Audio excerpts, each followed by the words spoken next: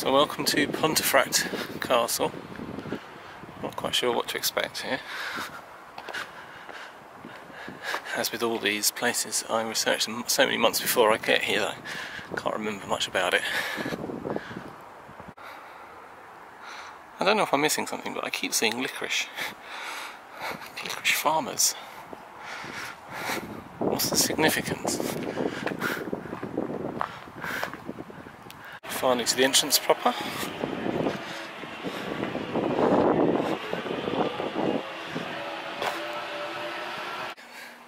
So the visitor centre was originally barn and the King's Stables area. But from 1720 licorice was grown on the castle grounds. The plant's roots were used to make Pontefract cakes. So I need to look out for some licorice. Let's walk into the castle proper.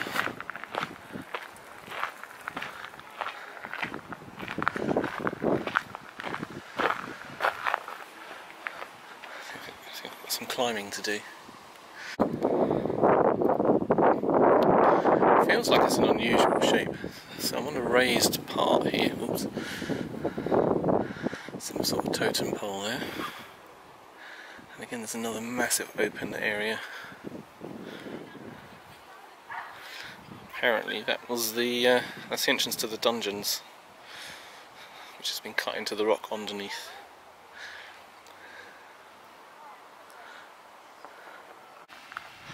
God, listen to this.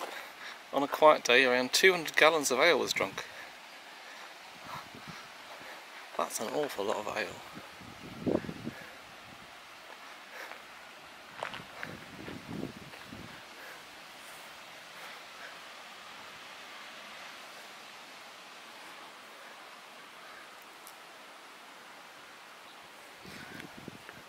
There's a few panels around, but there's not much saying what's what.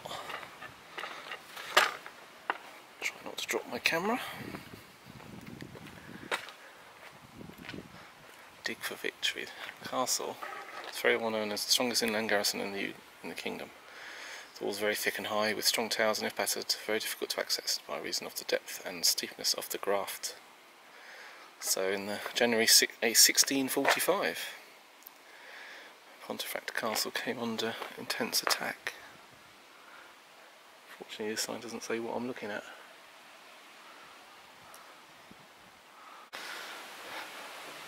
I don't know what this is, but it's quite unusual. So you've got raised, from what level I'm at today anyway, a raised entrance to a circular room.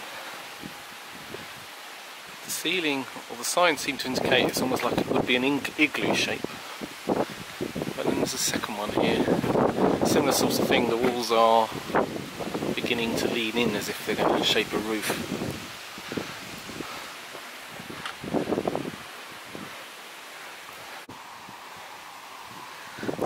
One piece of information, this is the kitchen area. Now, that was used during the Civil War to uh, melt armour as well. Or during a siege anyway, so it's used for lots of things. But feed a thousand men, they needed a big kitchen. Go back towards the what I'm going to call the raised area with the keep. It's over that way.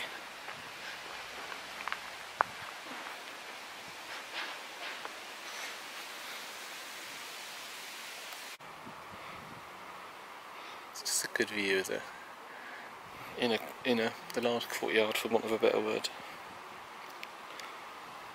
Apparently it's here that Catherine Howard had a began a passionate affair with Sir Thomas Culpeper, which leaded to both of them, when it was discovered, being executed. And it was in the tower here, which stood obviously somewhere up there, but it's just a view from this section. It's an interesting hill over there. Yeah, I'm not sure, It looks significant to me, don't know why. Good place to put cannon on if you're going to start hitting this place I suppose. There's a horrible old power station over there, don't know what that is at the moment. Don't even know if it's working.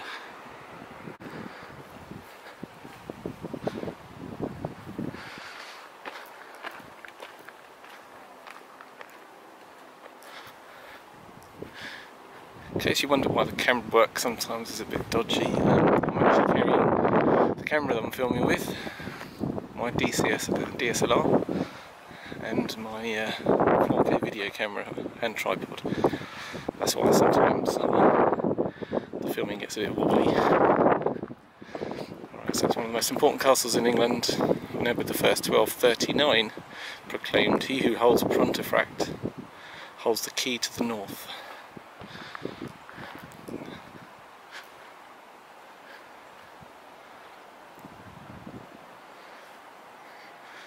It looks like a chapel, doesn't it?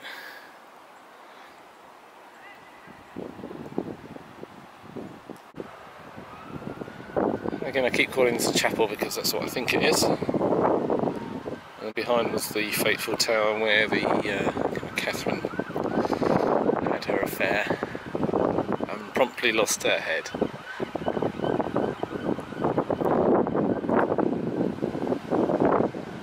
It's a great story. When Royalist Colonel John Morris discovered parliamentary troops were in town looking for new beds, he ordered his men to disguise themselves as country gentlemen and take their own beds to the castle. They marched the Trojan beds to the castle, tricking the guards into thinking it was their own men returning. Once inside, they withdrew their concealed pistols and took control of the castle. The parliamentary garrison was quickly overcome and imprisoned in the dungeon, where their graffiti can still be seen today. Trojan beds, eh? A quick aerial view from the keep area. So this bit is one level and that's another level. That's where the, the great tower was or the great house was.